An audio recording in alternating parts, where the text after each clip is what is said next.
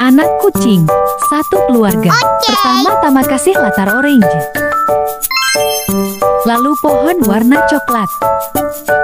Rumah dan burungnya warna ungu sama kuning. Awan sama daunnya warna krim dan hijau ya. Makan warna orange. Gitarnya kasih warna biru saja. Rumputnya sengaja gak dikasih warna. Hah? Selanjutnya mewarnai kucing.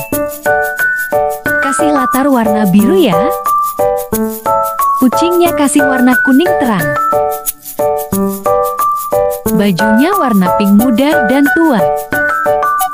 Telinga sama hidung kasih warna orang dan hitam.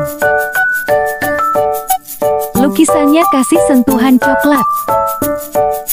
Lalu bunga pink daun hijau.